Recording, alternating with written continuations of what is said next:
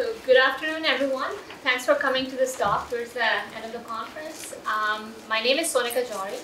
I lead the quantum applications team at IonQ. Um, and I'm going to talk today about a project uh, that IonQ did uh, jointly with the Fidelity Center for Applied Technology, in, in which we applied uh, machine learning to a problem in finance, and we found evidence for uh, exponential advantage with quantum computers. Um, so begin, to begin with, since we're a public company now, I have to, the lawyers have told me that I have to put up this, uh, this uh, statement in, in, before I start any talk. And if you want, uh, you want to read this in detail, this is on the website. Okay, so uh, with that, let me begin. Um, so IonQ is a trapped ion quantum computing company. Our uh, qubits consist of ions um, that are trapped by an electric field on top of a trapped ion chip. Um, the, uh, the qubits uh, are, uh, the quantum computation is done with the help of lasers. So at the beginning of the computation, the qubits are initialized in the zero state by a laser. Then uh, the quantum computation consists of several gates that form, that form a quantum circuit. And these gates are executed again by lasers that act on the target qubits. And then at the end of the computation, the qubits are projected out into a classical 0 or 1 state. And this readout at the end is again done by a laser beam, just like that. Um, next, over here, uh, here is a video that uh, one of my colleagues took of 25 ions in a chain. Now, in our current architecture, uh, you can see that the ions are laid out in a linear array. Despite this, uh, you can perform entangling gates between any two qubits in this array. And as any quantum programmer will tell you, that this can make the ability to do all uh, to, to, to do entangling gates between any two qubits, uh, which is also known as all-to-all connectivity, can make all the difference between getting out complete noise in the end versus getting out something actually useful for, uh, for a current generation of quantum computers. Um, there are several reasons uh, why uh, are uniquely suited for quantum computing. So the first uh, uh reason is that uh, all of our qubits are identical, right? So nature has given every atom uh, to be the exactly the same as every other atom of the same kind. So we are not plagued by many of the fabrication errors that that many of the solid state technologies are hampered by, especially in terms of reproducibility and scaling of qubit number. Um, the, since the, the trapped ions are, are, suspended above the trapped ion chip, they are far away uh, enough from any of the defects and impurities in the solid state substrate that they're not really affected by them significantly. Very, very importantly, they are capable of running at close to room temperature. So you don't need to stick your qubits into a giant dilution refrigerator, which is hungry for the world's limited supply of helium. Um, uh, like I mentioned, there the qubits are our qubits are highly connected, extremely important for running algorithms. And also reconfigurable. The systems you can choose how many qubits you want to load and so on. Um, inherently, they have very high quality gates, and also they have uh, they have the longest qubit lifetime, right? So this is the same technology on which uh, atomic clocks are based, right? And th those set the very standard of time. So for a number of reasons, right, um, uh, right now, I think there's no question. If you're a quantum algorithms person, quantum applications person, I don't think there's any other technology you can turn to and say that it would give you the same performance for running applications and algorithms.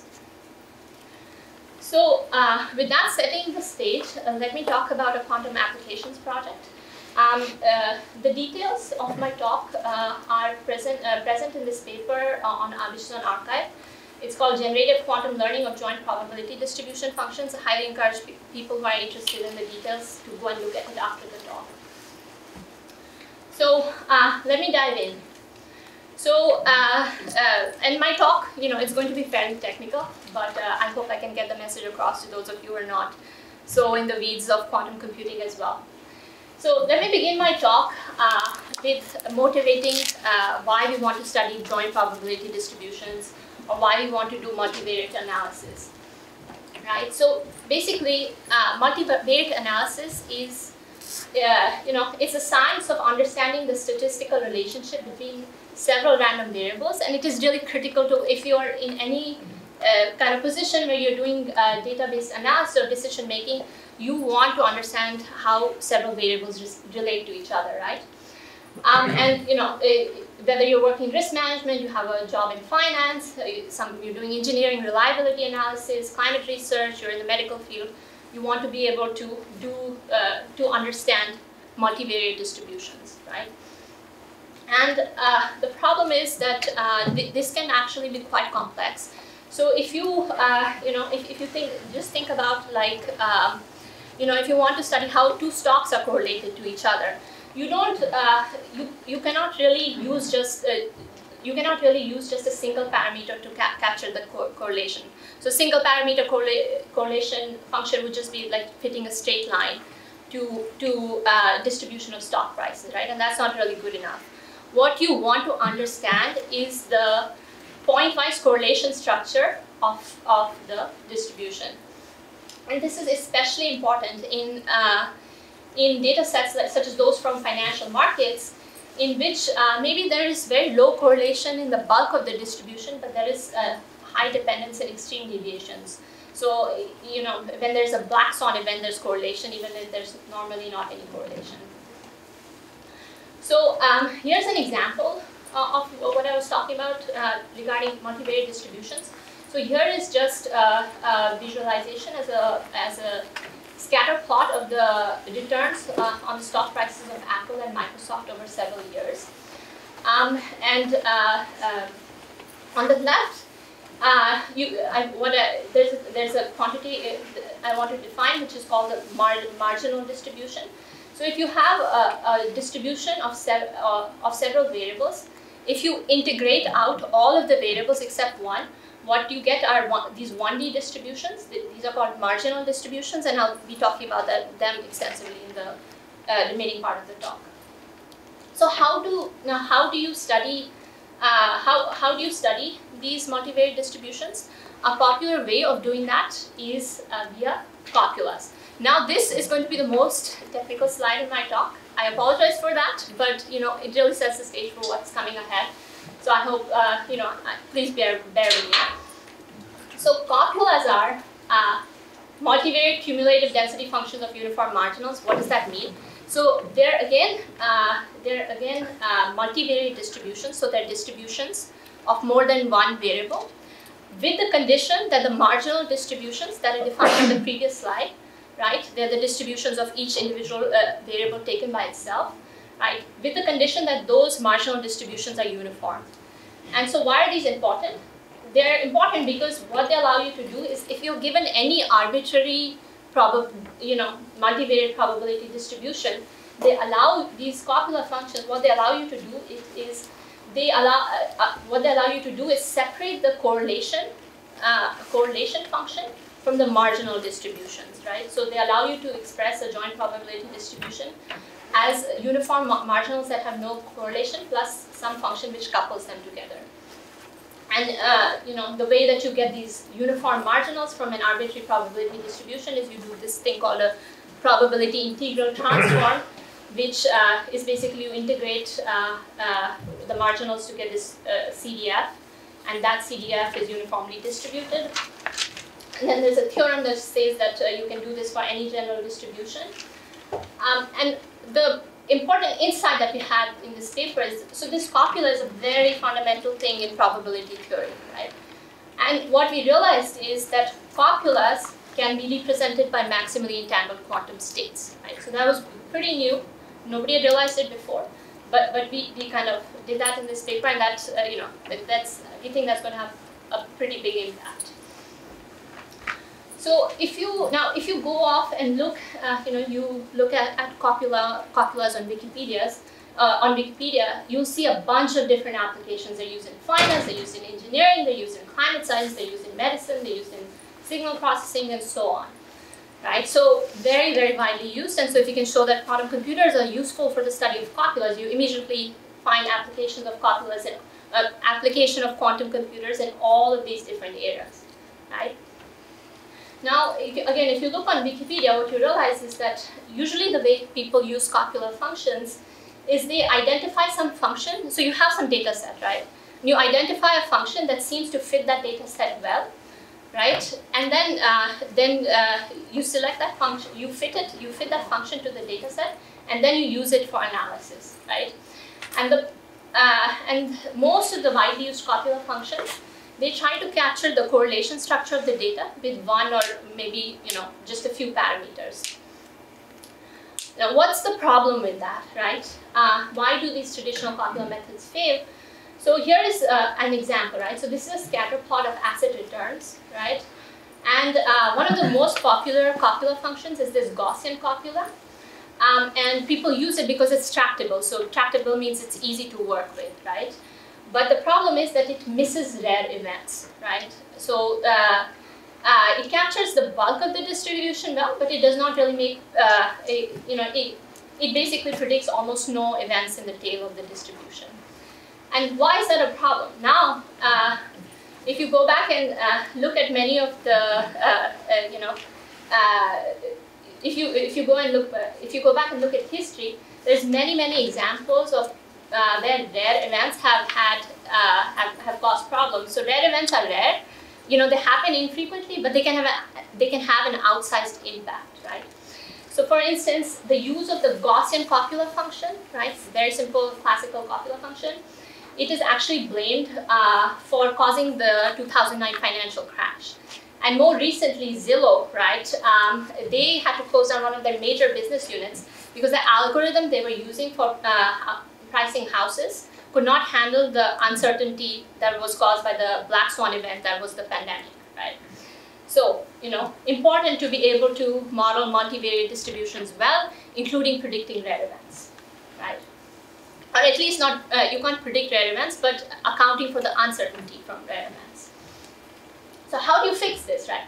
So one way to do it is just move to more and more sophisticated copula functions, go from you know Gaussian copulas to Archimedean, etc., etc. But the problem there is that uh, scaling up these uh, copula functions to more than just a few variables is extremely inefficient, right? Um, so people don't really use that, really do that. They, they stick with like the simple copula functions. The other way, more modern way, is to do generative machine learning on it, right? So uh, in generative machine learning, typically what people do is they use a neural network, right? As a as a gen, they train a neural network to learn to re, uh, to learn to produce samples from uh, from a given data set. And then this, uh, you know, this neural network is train, often trained by something called a GAN or a generative adversarial network, where a generator and a discriminator play a zero-sum game the generator is trying to uh, produce samples that look like the real samples, and the discriminator is trying to, uh, you know, uh, differentiate between samples produced by the generator and the real data. Right. So uh, this is the architecture of a GAN, right? So you have this uh, classical neural network, which is the generator, another neural network that is the discriminator, and there's a zero-sum game being played by the two. Okay. What we did here is instead of using uh, Instead of using a classical neural network as a generator, we decided to see if using a quantum uh, circuit as a generator has any advantage, right?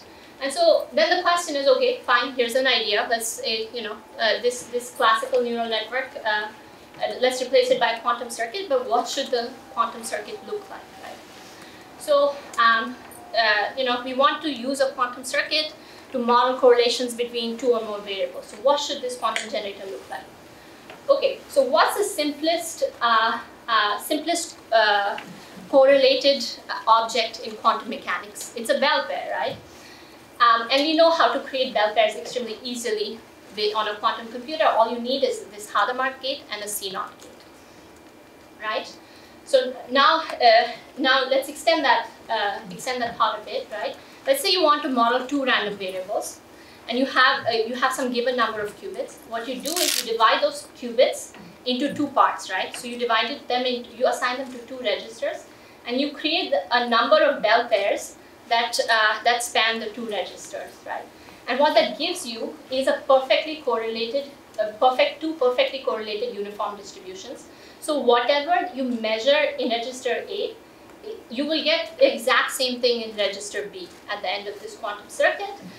And uh, you also have the, what you also get is that each, if you look at the distribution of the states you get in register A just by itself, that's going to be uniform, right? Okay, so this function, uh, you know, at the end of this, uh, um, at the end of this circuit, the quantum circuit state that you measure is going to be a copula. It's a very boring copula, right? Uh, you know, the, the, the individual probability distributions or marginals are uniformly distributed right? It's a boring copula because it's perfectly correlated. Whatever you value is for variable 1 it's the same value for variable 2, right? Now, uh, let's try and make it a bit more interesting. Let's see what happens when you also do local operations on register A and local operations on register B, right? So um, before, before you apply the local uh, operations, like I said, you have uniform distributions in register A and uniform in register B. So uniform distribution is just represented by by an identity matrix with some uh, normalization factor. And when you apply unitaries locally to each register, the interesting thing is that this uniform distribution does not change, right? And uh, it remains it remains an identity matrix in each register. But what does change is the correlations between register A and B. And so this state at the end of this circuit is nothing but a quantum representation of a copula function. And I'm really proud to say that we have labeled this a copula with a Q, right? Um, so that was kind of fun. Um, but, uh, but uh, so this is cool, right? So now, you know, uh, we, we realize that, uh, you know, copulas can be represented by maximally entangled quantum states. We also found a way to kind of uh, uh, manufacture those quantum states. And next what you can do is this UA and UB, you know, I've just stuck them on here, not specified what they look like. What you can do is you can say that this U, those U's, right, you can, uh, you can specify them with, uh, you can construct them with some quantum gates that have free parameters that can be optimized, right, during, during some kind of machine learning uh, training, right. So, uh, so you've turned, you've basically now got a variational quantum circuit that represents a copula function and that can then be trained to, uh, to mimic the properties of a given distribution. So with that, all that theoretical background in place, we then, uh, we then applied it to a real data set. So uh, the first figure here is the growth of capital if invested in uh, you know Apple or Microsoft stocks, and then the returns of that uh, returns of those stocks are presented as a scatter plot here. And then that probability integral transform that I was talking about, it takes you from this uh, scatter plot in what I call real space to copula space, right? Um, and, and so what you want your quantum machine learning algorithm to do is to, uh, is to mimic this probability distribution or be able to produce samples that look like they are from this probability distribution on the right over here, right? Okay.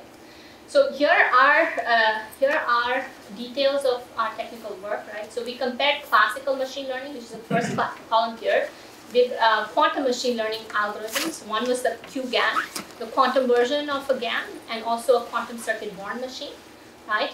And so what we did was, uh, you know, in order to compare apples to apples, we made sure that the number of free parameters in the classical GAN is the same as the number of uh, free parameters in the quantum models, right? And uh, the first very interesting thing we find out is that the learning seems to be robust to small amounts of noise, right? So this on the left here is the training of the uh, of the quantum GAN in simulation on an ideal simulator. And you find that uh, uh, on the ideal simulator, so the blue curve is the loss function of the generator, orange curve is the loss function of the, of the dis uh, discriminator in the GAN. And what happens is that when you start the training, the two diverge, and then after some time they converge, and that's your aha moment when you know that your model has been trained. And so what happens when you go from simulation to experiment? So this is uh, these actually results from our last generation quantum computer. You find that uh, you know uh, the simulator you converge around 300 iterations. The the experiment you converge around five, four or 500 iterations, right? So all that the noise does is it delays it delays the convergence, right? It does not destroy, it does not take away quantum advantage. Of course, if you had too much noise, it would never converge at all. But it is robust to small amounts of noise, right? Okay. then here are the results uh, of the training, right? So the first thing you find is that the quantum algorithms, uh, so the, this is resolved for six qubits, right? So the quantum algorithms outperform the classical algorithms, even on six qubits, right? So you, so you have to remember here that the classical and quantum models have the same number of parameters. And the quantum, uh, quantum uh, uh, models in experiment on the cloud quantum computer reach a lower value of this parameter called the Kolmogorov-Smirnov distance than the, uh, than the classical models. So they outperform them in mimicking the, the target data set. They also converge, quantum models converge 100% of the time, whereas the classical GAN only converges about 40% of the time. Next, you observe that the quantum models learn much more efficiently. So on the bottom here, you see uh, that the, you know, the leftmost uh, um, uh, plot is for the target data set, and then you and the rest of them are the training, uh, you know, trainings by the different models. Uh, sorry, the outcomes of trainings by the different models, and the the classical uh, GAN took uh, 20,000 iterations to converge, right? And the quantum GAN only took 1,000, and then the, the quantum circuit born machine took uh, only about 20 iterations to converge, right? So they train much, much, much faster. Then thirdly, you see that, uh, you know, just, just do a, you know, visual check of the kind of data that was generated by the trained model. So the classical GAN it looks kind of weird, right? Like it misses everything in the tail of the distribution. And the quantum models are actually much better at uh, producing samples that are in the tails of the distributions. So they can, uh, you know, which goes to say they can account for uncertainty that can come from rare events, right? And we are currently, you know, we are currently doing research that uh, improves these models even more, right? So, so this is not the end of the story. I think you're just going to do much, much better than this. Okay, so, uh, so, you know, I gave you the theory, I gave you the results of uh, the practical experiment we did, and then, you know, uh, uh, looking towards the future, what is, you know, why should we use this algorithm? Is there any proof that we have of quantum advantage? And yes, we do. So the, the, the arguments for quantum advantage in the model, right, um, the first argument is the hardness of sampling from quantum circuits. So we know that the space of uh, probability distributions that can be modeled efficiently quantumly is much larger than the space of the probability distributions that can be modeled efficiently classically, right? So that is the first argument for exponential quantum advantage. The second advantage comes from Bell's theorem, right? So with Bell's theorem, um, uh, let's say you have a one, uh, one, Q, uh, one Bell pair, right? And you distribute it to two uh, people, or in this case, two registers A and B you know that uh, the correlations between these two qubits cannot be reproduced by a classical theory uh, with no communication between those registers, right? Now extend this to n qubits, right? So if you have n qubits that are distributed between two registers A and B, the the uh, the correlations, right, which is the you know we are trying to capture correlation structure between two variable, two or more variables. Those correlations require an exponential amount of communication between A and B to reproduce. Right? And then you can take that argument and stick it into your machine learning algorithm and basically argue that if your classical generator was a feed-forward neural network, right, the number of layers it has has to scale exponentially in n in order to reproduce the correlations that the quantum generator can can uh, the quantum generator can uh, uh, uh can generate efficiently, right? So, um, you know, so, so, we expect to have quantum advantage in this exponential quantum advantage in this model, and we expect this, uh, you know, that advantage. Um, as you increase the number of variables, it should, it, you should get more and more advantage over the classical, uh, classical learning models. Okay, so finally, I'll end uh, with an outlook.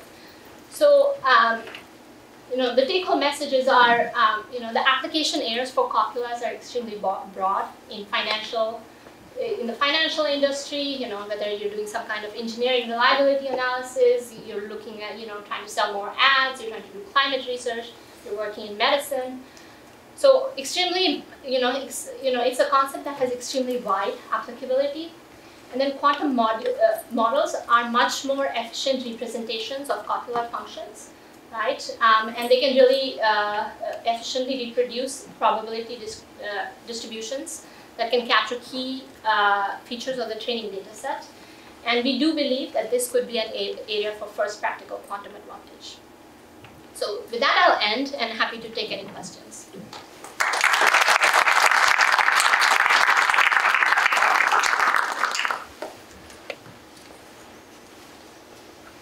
Just to understand it, so you put those unitaries to decouple the distributions, right?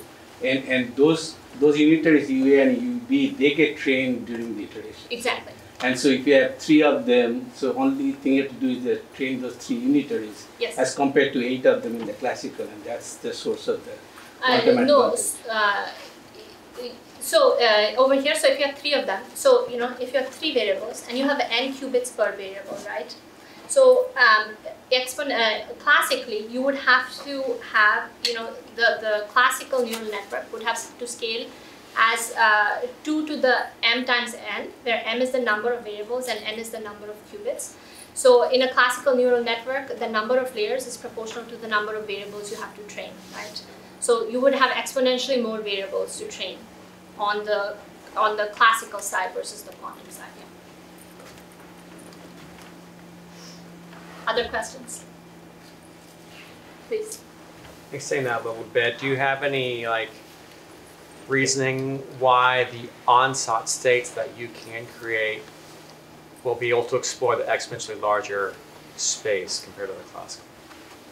So, so uh, you know, th- there are proofs for sam. Uh, so there are proofs that uh, for hardness of sampling quantum circuits, and the choice of ansatz that we made, right? You can prove that sampling from it is inefficient for classical computers.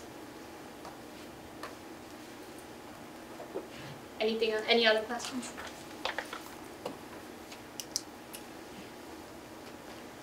All right, thank I you, guess that's time.